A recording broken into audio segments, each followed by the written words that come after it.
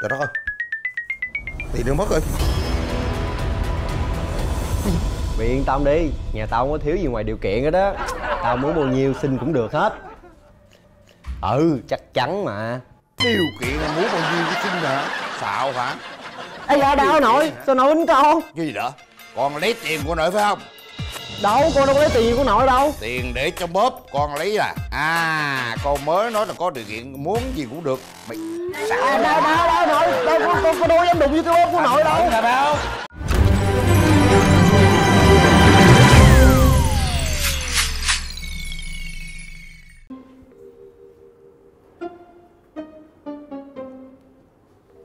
Mẹ. Ừ con. Hoàng Anh Dạ Có tiền không cho mẹ mượn đỡ 5 triệu đi. Tháng, tháng sau mẹ trả con.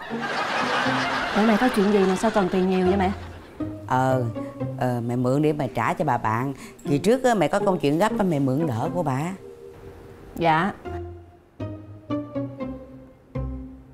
Mẹ. Ừ? Mẹ đừng có nói với con á là Mẹ bị mấy bà bạn dụ dỗ đi mua cọng dây chuyền đó cho nên là thiếu tiền nha. Bây giờ có cho mượn hay không? Nhiều chuyện quá Mẹ mẹ. Gì? Mẹ chờ đi con lấy tiền cho mẹ mượn. Thôi khỏi cần. Mẹ. Nhỏ này không bao giờ mà mượn tiền mà nó cho mình mượn hết trơn hết rồi Lần nào cũng hỏi ơ mẹ mượn tiền làm gì? Mẹ cần gì nhiều vậy? Ghét ghê vậy.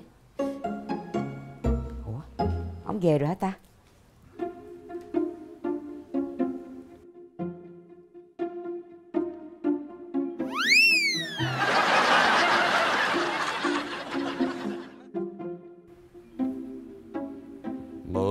thơ con gái. Đó? Nhìn về tương lai mà thấy đâu sông sông biển. Ôi đâm ác mẹ. Không dám gọi cái đầu. Gọi cái đầu nó ướt một cái là xẹp lép không còn một cọng. Ôi vô đó. ủa? Kì mẹ để đây nhiều ăn qua đây. Chắc là ấy thôi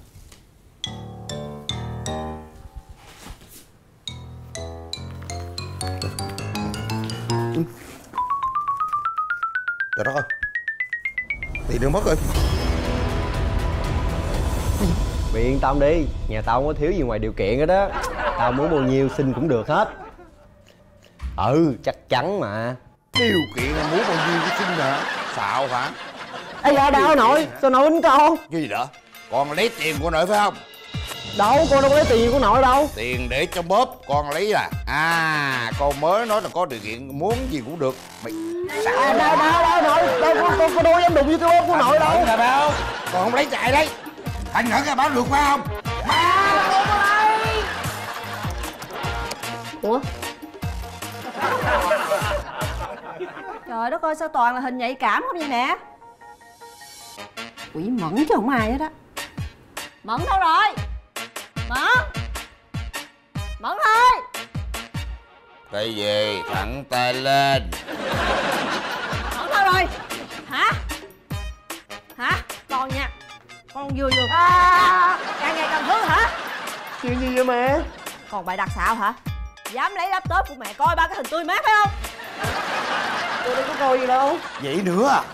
Trời đất ơi ba, cái laptop của con á ba Bây giờ toàn là hình đồi trụy không à? Ở đâu ra, không phải con chứ ai? Không phải con. Ủa, Chối hả, chối hả, Đau chối hả? đau mẹ, đổ tay cấp sức cơ mẹ ơi. Đi xuống dưới, đi lên, đi. Đi nhanh lên. Đi lên. À, Mẹ nói thiệt với con nha. Sống mà có phải chịu đựng như vậy á, Chắc có ngày mẹ bị đột quỵ mẹ chết quá à. Con nói thiệt á hả? Mẹ nên ra riêng ở cho rồi. Thì nếu mà không vì thằng Hạnh là mẹ đã ra riêng lâu lắm rồi. Con nghĩ đi Thằng Hạnh thì ở không. Ăn không ngồi rồi, không có công ăn chuyện làm. Đó, Mà mai mà có cha mẹ chồng ở đó đó, Mà có Hoàng Anh nó còn đối xử thằng Hạnh như vậy, Bây giờ tôi còn tưởng tượng đi không có ba mẹ ở đó, Thì nó coi thằng Hạnh ra gì nữa?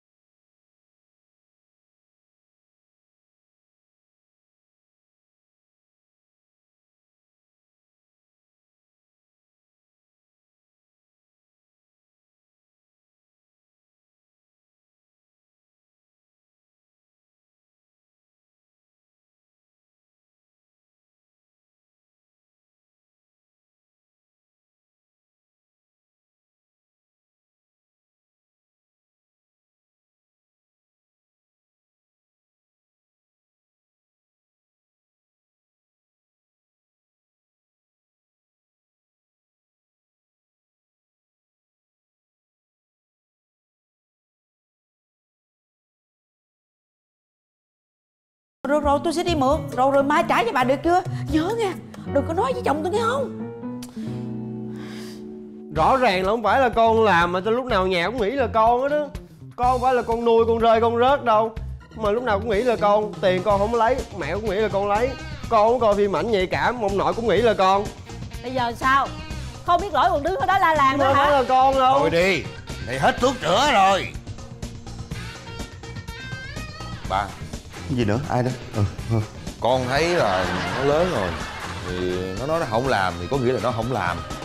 Mình phải nghĩ thoáng cho nó chút xíu chứ. Thoáng cái gì mà thoáng? Em con nó lớn rồi. Mình là cha là mẹ mình phải hiểu nó chứ em.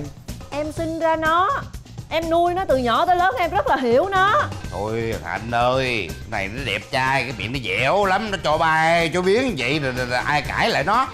Ừ, nhà cứ vậy con hỏi sao con lớn được. Nè. Nè Cô. Đó bà thấy không? Vậy cái bỏ đi đó. Anh thấy là nó đúng chứ không sai. Cái gì? Mình phải tin nó. Nó lớn rồi mình phải suy nghĩ suy nghĩ khác về nó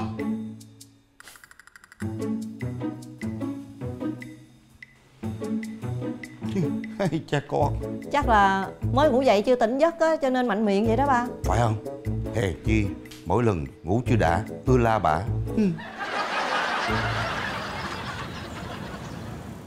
ơi sợi chuyền đẹp quá cái sợi chuyền này mình thích dữ lắm nè. Khó khăn lắm mới mượn tiền mua được giờ không lẽ bán nó sao đành? Dứt khoát là không bán. Bác ơi bác